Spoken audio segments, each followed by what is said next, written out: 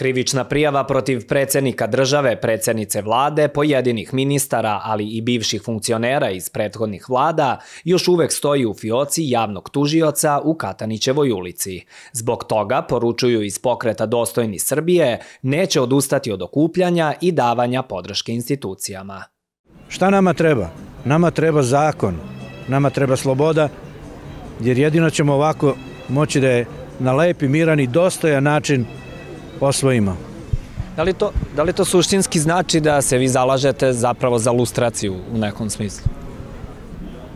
Da pa, svi prethodni koji su bili i ovi koji su trenutni Tako je. Svi, svi prethodni koji su bili od e, čak i od Miloševića i tako dalje, da ne idemo mnogo unazad, svi su bili sluge koji nisu radili za ovaj narod i za ovu državu, već naprotiv, za sebe i za svoje mentore.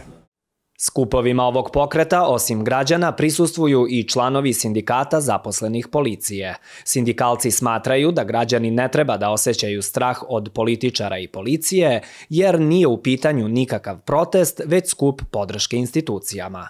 Očekujemo u toku noći uh, da nam se priključe mnogi građani koji su trenutno u putu u toku sutrašnjeg dana i narednih dana i za noćas je planirano da ostanemo ovde celu noć, da sačekamo i sutrašnji dan i za dva, tri dana upravo radimo na tome da obezbedimo jedan šator koji će da bude postavljen ovde ispred tužilaštva, da ljudi noći su toko noći mogu da se sklone od hladnoći.